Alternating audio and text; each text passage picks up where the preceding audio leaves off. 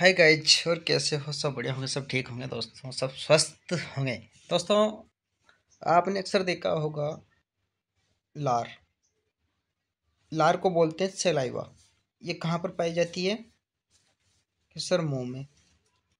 तो आप मान लो, शाम को सोए, सुबह आपके लार निकलती है। निकलती है ना? तो उसको वैसे अंदर डालना चाहिए वैसे। देखा जाए तो अगर उस लार को निकलते हैं तो बताइए कहते हैं कि शरीर स्वस्थ रहता है है ना? फिर भी अपन सोचते हैं कि लार को अंदर, मैं तो यही सोचता हूँ कि लार को अंदर नहीं लेना चाहिए।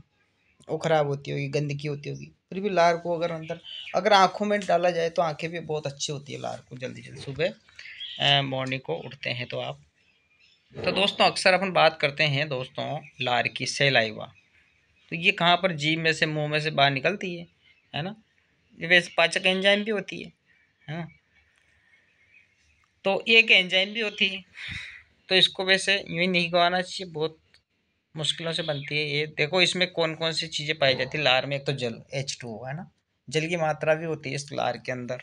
एक श्लेष्मा, जो भी अपने शरीर का श्लेष्मा होता है, जो भी पाचन ग्रंथियाँ हैं मुँह में तो उनसे श्लेष्मा निकलता है। एक टाइलिन, है ना? टाइलिन कैसे करते हैं? Salivary amylase, okay? तो इसको बोलते हैं टाइलिन।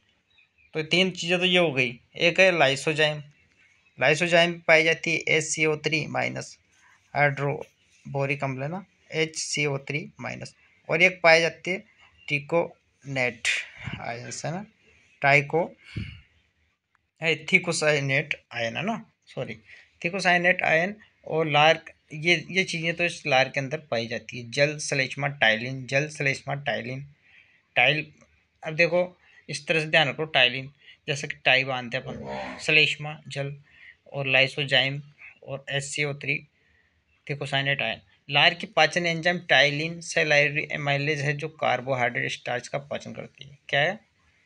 लार एक पाचन एंजाइम है।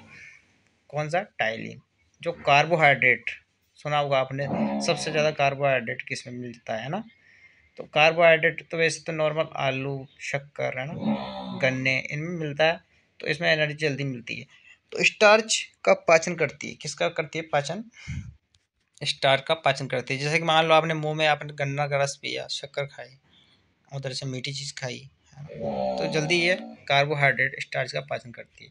इससे इस क्रिया इस इस क्रिया हेतु six six decimal eight pH मान होने की आवश्यकता है। यानी कि छः पॉइंट आठ पीएच होना चाहिए दोस्तों। लाइसोजाइम जीवाणु की कोशिका भित्ति को नष्ट करती है। लाइसोजाइम क्या करती है? जीवाणु की कोशिका भित्ति सेल वाल को नष्ट करती है दोस्तों। लाइसोजाइम ठीक है दोस्तों? तो ये थी दोस्तों। तो ये थी दोस्तों लार। और लार भोजन के साथ आसानी से ग्रहण करवाती है। बिल्कुल म्यूकस आसानी से भोजन प्रवेश करता है। और अंदर आमाशय में ग्रशिका में घृणी में आसानी से लार के माध्यम से भोजन आसानी से जाया जा सकता है।